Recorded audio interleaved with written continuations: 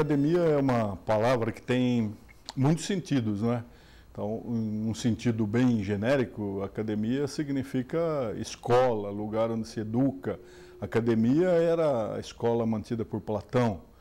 E esse nome foi redescoberto eh, na França no século XVII para formar um colegiado de intelectuais com a única intenção de cultivar a língua, a literatura, a cultura, as artes. Não é?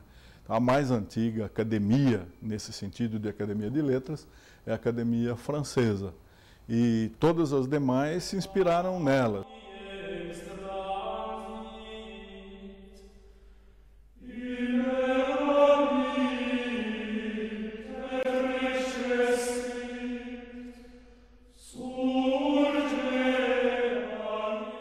Academia ela serve para designar sempre um, um conjunto de pessoas em torno a uma ideia força. Não é? é uma instituição que, em regra, congrega pensadores, intelectuais. E nem sempre a academia teve essa conotação de academia de letras. Por exemplo, no Brasil colonial, nós tivemos muitos exemplos de academias dos esquecidos, academia dos injustiçados, academia dos oprimidos, né? Hoje, no Brasil, a maior academia é a Academia Brasileira de Letras, que tem 110 anos. Logo em seguida, a Academia Paulista de Letras, que vai completar 100 anos agora em 2009.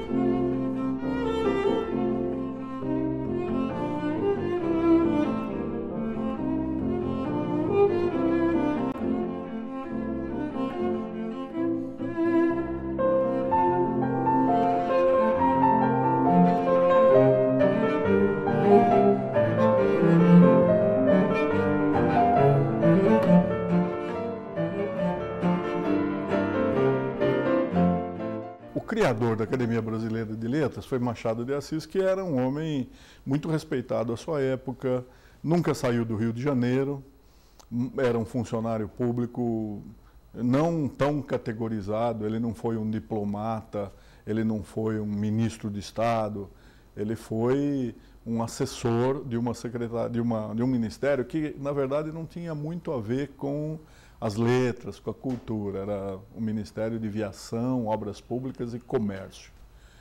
Ele teve uma atuação é, na fundação da academia, hesitou muito em copiar o modelo francês, que é, é evidente a influência da França sobre a educação brasileira. É? Só muito recentemente nós abandonamos a França para seguir o modelo americano mas as gerações antigas, todas elas se inspiravam na literatura francesa. A França foi sempre o nosso grande modelo.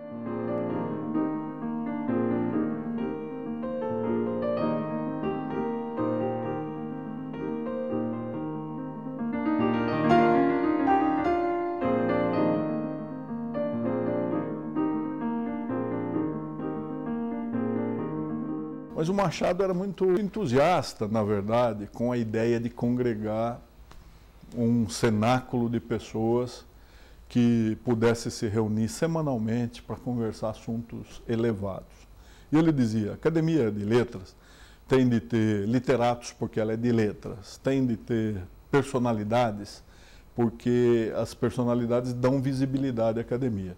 E ela precisa de jovens para trazer alegria para, para a academia. Então, a academia ele chamava uma casa de bom convívio, onde intelectuais se reúnem semanalmente para conversar coisas culturais, não é? Não, é, não tem outro intuito a academia senão defender o idioma, defender a literatura, defender a cultura, o pensamento, a filosofia. Espera aí. Depois eu conto a história de Virgília. Antes, eu quero mostrar uma coisa inédita. Que eu saiba, até hoje.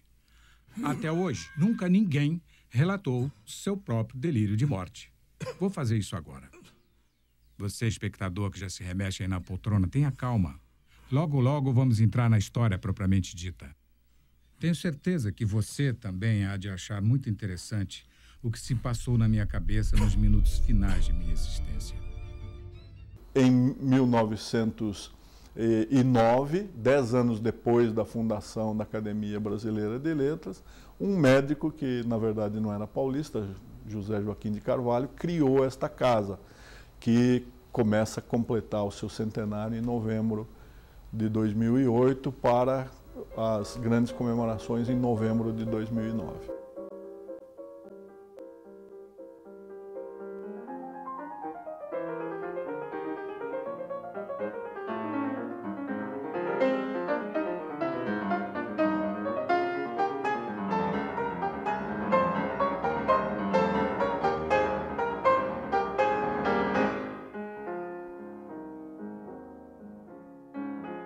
Esse é o modelo francês, não é? que hum, é um número que hum, poderia ter sido qualquer outro. É? É, e a Academia Brasileira de Letras tem o fardão, que na verdade é um mito, é um símbolo da, da imortalidade, é, é uma roupa tecida com fios de ouro, tanto que não é o acadêmico que a adquire, em regra, é o estado natal do acadêmico que patrocina a, a, a confecção do fardão. A Academia Paulista de Letras não tem fardão, ela tem um, um símbolo chamado eglantina, que foi criado por um intelectual e pintor chamado José Wash Rodrigues, que pensou na última flor do lácio e fez aquela rosa de cinco pétalas, inspirada na poesia de Olavo Bilac. A última flor do laço, inculta e bela, és a um tempo, esplendor e sepultura.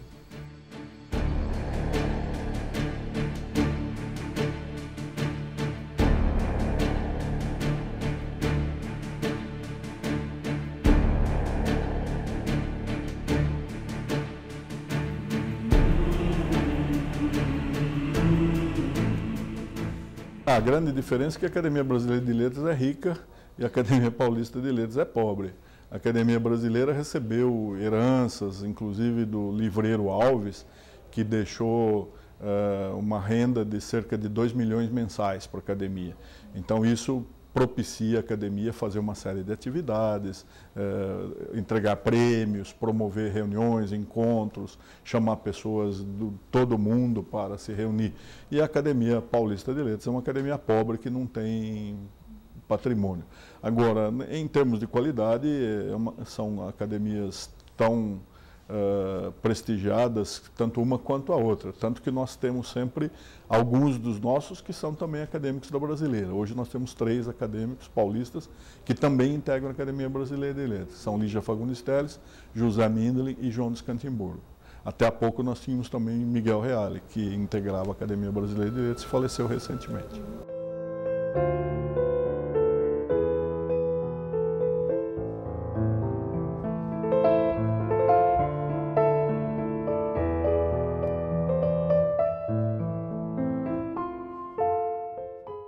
Verdade, um dos, dos, fundamentos, um dos motivos ensejadores da criação da academia eh, foi o auxílio aos intelectuais pobres, né?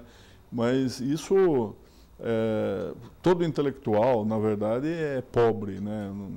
É, é, muito difícil viver da intelectualidade. Até a Lígia Fagundes Teles brinca muito, dizendo que nós somos imortais porque não temos onde cair morto, né? Então essa é a imortalidade.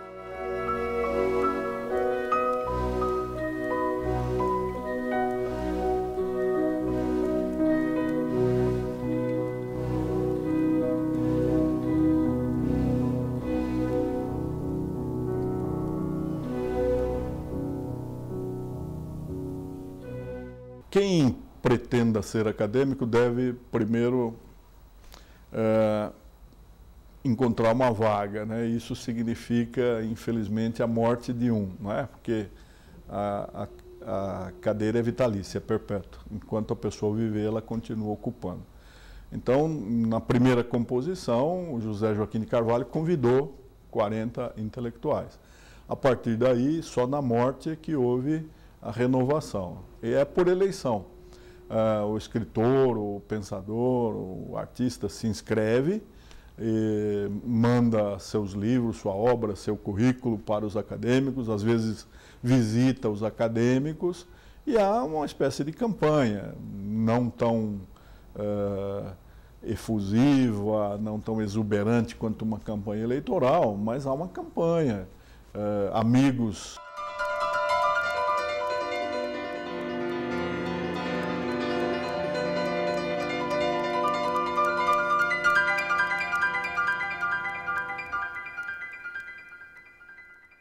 uma tradição. O Chara 5, eu acho que existe desde que nós temos esse prédio. Antes, o, os acadêmicos se reuniam em lugares onde houvesse possibilidade de tomar chá ou café, e quando passamos a nos reunir aqui, o que foi em, posso estar enganado em algum, alguns anos, mas foi por volta de 50, 51, uh, nós, esse, esse chá das 5 foi introduzido, que não é necessariamente só chá, pode ser café, mas também pode ser cerveja. E, e são alguns pãezinhos doces ou biscoitos.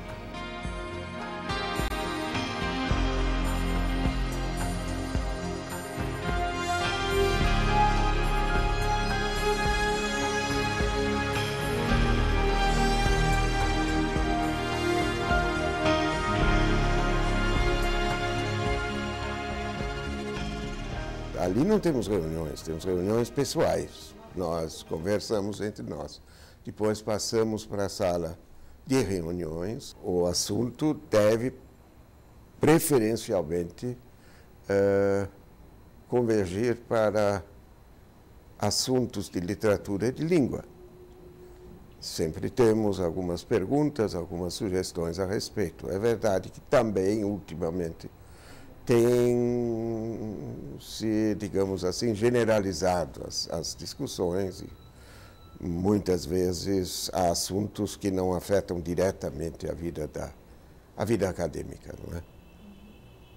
Assuntos que dizem respeito ao Brasil, ou que dizem respeito ao interesse dos acadêmicos.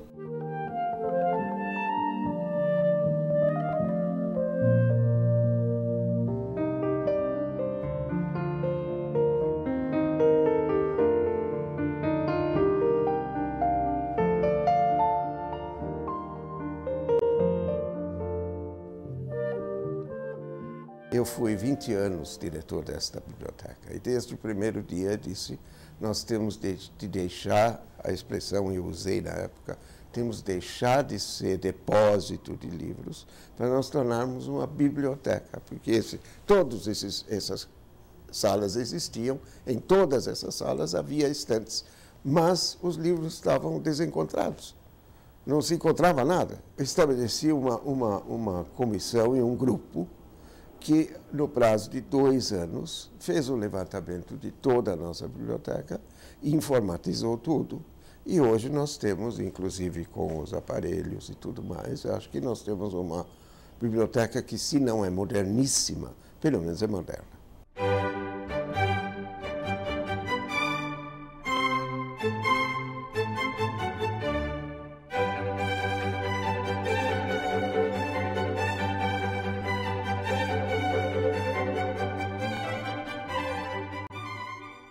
Esses móveis foram feitos pelo Liceu de Artes e Ofícios, foram doados pelo acadêmico que era embaixador, Macedo Soares, por isso a biblioteca tem esse nome, Biblioteca Embaixador Macedo Soares.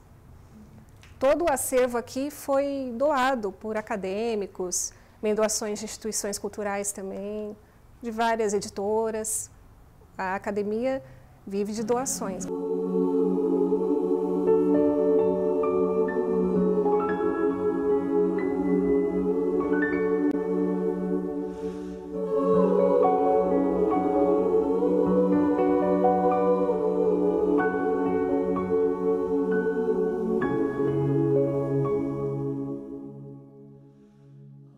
Nós temos muitas obras raras, da, de 1500 em diante, 1600, inclusive documentos importantes como alguma carta né, de Dom Pedro I para a Marquesa de Santos, de 1828.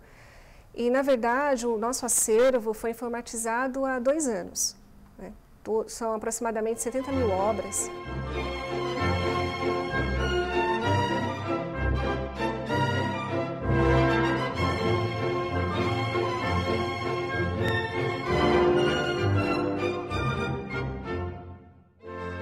As obras mais antigas da academia são, eu fiz esse levantamento pelo nosso sistema, nosso banco de dados, e a mais antiga é essa de 1572, são os Lusíadas de Camões.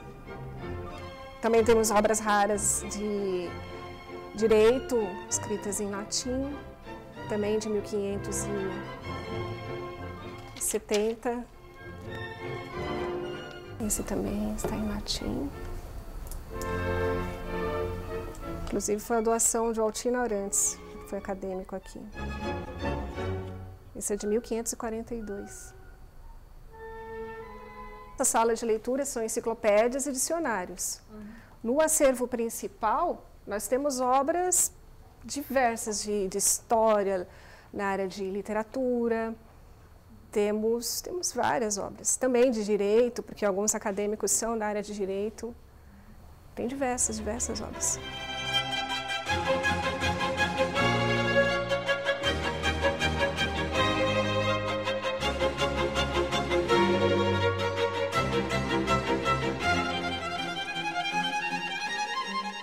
O acervo aqui é bem diversificado, nós temos obras de várias áreas do conhecimento, de vários anos também. Inclusive tem obras raras misturadas aqui. Aqui tem obras escritas em vários idiomas, francês, italiano, alemão. Esse é o acervo principal de toda a biblioteca. Porque a biblioteca, na verdade, ela ocupa os três andares da academia, né? Porque o terceiro andar é o espaço principal.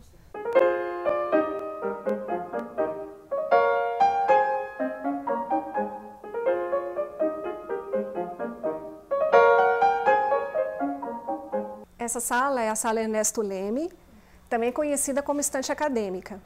Por quê? Porque aqui estão reunidas as obras dos acadêmicos, desde os mais antigos, desde os fundadores das cadeiras até os atuais.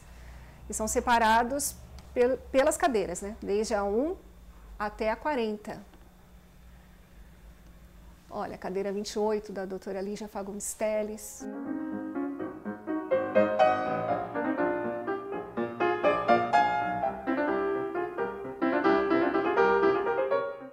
A gente está começando a perceber que o espaço está ficando muito apertado, mas por enquanto ainda não teve necessidade de nenhum remanejamento, nada. Então, o que a gente, a gente mantém as obras, as publicações, um exemplar de cada, né? De cada publicação do, do acadêmico aqui. Mas temos a obra completa do Padre Vieira e a primeira edição. Portanto, isto é um, isso é um tesouro. Nós temos a maior coleção camoniana do Brasil, pelo menos assim consta. Não, não, e temos Camilo Castelo Branco, Camiliana, Camiliana, temos Camoniana e Camiliana, pelo padre Antônio Vieira. Isto é de 1588. 1688. A, a edição toda é dessa época. E aqui temos o padre Bernardes, também a primeira uh, versão da Nova Floresta, que é mais ou menos da mesma época. É, vamos ver. Não, um pouco mais tarde, 1706. Mas também já faz alguns aninhos. Além disso, nós temos alguns volumes, não sei como chegaram aqui, dos inícios da imprensa no mundo temos uma, uh, um código de leis da Itália do século XVI e temos ainda alguns outros volumes também. Nós temos 125 números publicados da revista uh, Academia Paulista de Letras. Foi em 37 foi lançada esta revista e começou uh, com uma frequência de quatro revistas por quatro revistas pequenas por ano, portanto, de trimestrais, não é? é nós Passamos depois, e ainda estamos agora oficialmente, com duas revistas anuais, dezembro de 44. E vamos ver que, quais são os autores. Guilherme de Almeida, por exemplo, Monteiro Lobato, Mário de Andrade, Plínio Airosa, Otoniel Mota, Aureliano Leite e René Tiollier. Todos os, aspas, monstros sagrados, aspas, desta academia.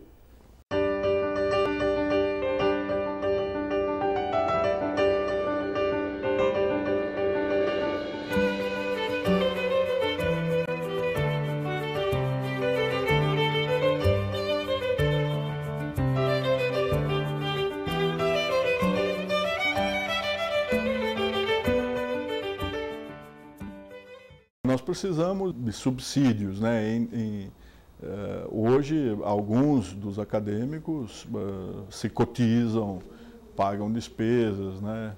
mas nós precisamos de restauração do nosso auditório para que nós possamos locá-lo e, com isso, obter alguma renda que permita à academia uh, o seu sustento, né? a sua subsistência. E é por isso que é muito urgente a, a, a obra de restauração da Academia Paulista de Letras. Antes da nossa restauração, é, é muito difícil que nós possamos uh, propiciar aos interessados o acesso à nossa biblioteca. Né? Nós precisamos, com urgência, da restauração do prédio, da adaptação para o acesso das pessoas com deficiências uh, e também um sistema de segurança que permita que essas obras sejam consultadas. Enquanto não houver restauração, Uh, nós abrimos a academia apenas para um ou outro pesquisador, mediante agendamento, e não é possível uh, o acesso amplo, que só será viável no momento em que nós conseguimos a restauração.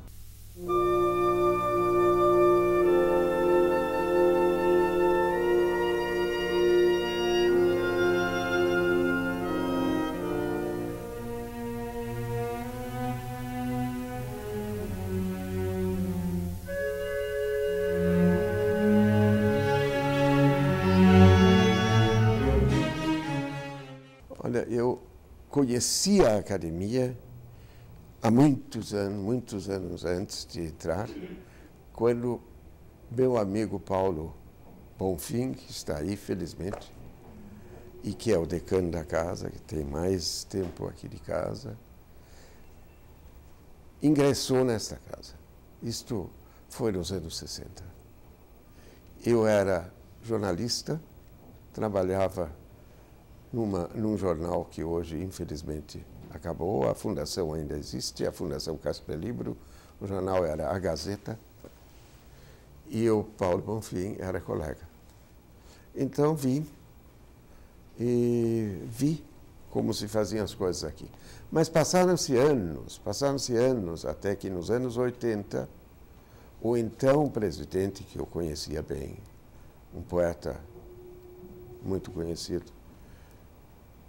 Péricles Silva Ramos, Péricles me telefonou e disse, olha, vagou uma cadeira, você não quer se inscrever? E foi aí que eu então me interessei, porque na época ainda trabalhava em jornal, mas no Estado de São Paulo, então, no suplemento Cultura do, do Estado. E foi assim.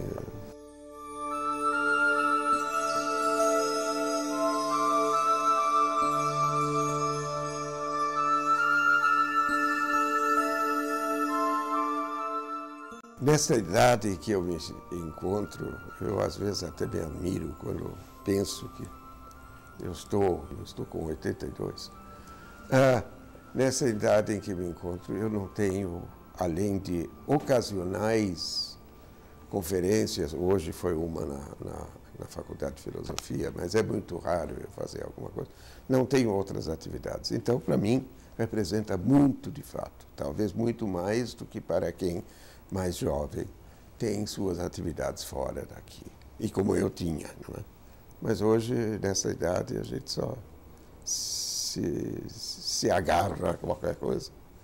E esta academia, para mim, o convívio com colegas e amigos, infelizmente a morte de muitos deles, porque aqui, imagina, pode imaginar, sendo uma casa de velhos, morre-se muito É, a, mas a, a vida aqui me é muito importante. Este aqui é um dos grandes autores desta casa. Eu, e, e é um excelente excelso acadêmico. Quanto você? Doutor, não é. Doutor Hernani Donato, um homem que tem uma bibliografia deste tamanho, conhece essa casa como Nunca ninguém. ouviram falar? Já ouviram falar? Não ouviram falar? Historiador, escritor. É, Ouviram na lista de títulos protestados, não? que vontade. Eu, é nós e é o nosso editor das, da revista.